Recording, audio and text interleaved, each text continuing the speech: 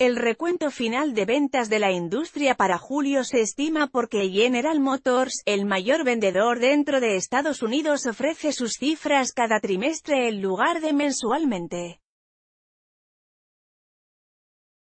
Las ventas de GM en Estados Unidos cayeron un 3% en julio, según las estimaciones de Automotive News, a pesar de lo que ALG calcula como un aumento del 19% en los incentivos.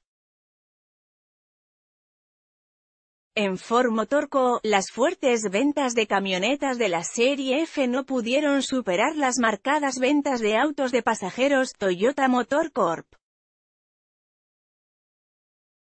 registró su mayor caída en 2018 con un declive del 6%.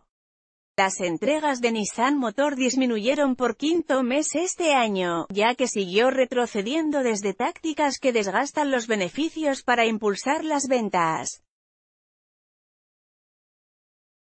Kia vendió más que la marca Hyundai ya que ambas marcas declinaron. Los conteos estuvieron en línea con los pronósticos de los analistas de un suave mes de julio, las ventas hasta junio habían sido sorprendentemente fuertes, 1,9% más. Pero dado que la mayoría de las estimaciones apuntan a que las ventas totales en Estados Unidos terminaron por debajo de los 17 millones después de un histórico periodo de tres años por encima de esa marca.